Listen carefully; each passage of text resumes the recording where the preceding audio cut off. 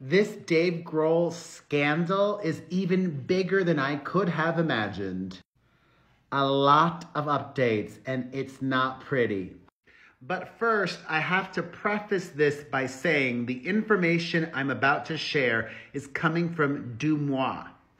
They've often gotten things very right, and sometimes they get it very wrong as well. So, I say that so that you can decide for yourself if this is credible or if you want to believe it or not. A source tells DeuxMoi a lot, starting with, quote, I have known the Grohl family for 18 years. And despite what some people are saying, this has come as a huge shock to Jordan, his wife, and their daughters. To say we are all upset and disappointed is an understatement.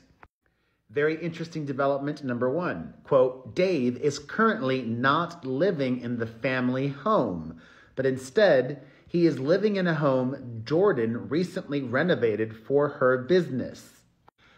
Earlier today, I told you all that he has retained divorce lawyers and she has been spotted around Los Angeles without her wedding ring.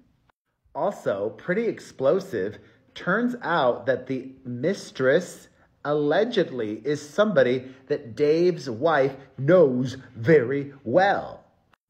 They were friends since 2017 at least. And the source says Dave has been struggling with some other issues since his mother and best friend bandmate died last year. The source adds that Dave has been receiving medical help. One can imagine what those issues are. He's said to be struggling with some other ongoing problems. But, quote, none of that can excuse what he has done to his family. Also, we have more information. I know a lot of people were curious how old is this baby? According to this source, the baby was born a few weeks ago. Dave was not present for the birth, but has been to see his daughter multiple times. You see, I'm really starting to believe that this insider is credible because it's a lot of information and it's detailed. Additionally, quote, his eldest and middle daughters have been understandably struggling with the news.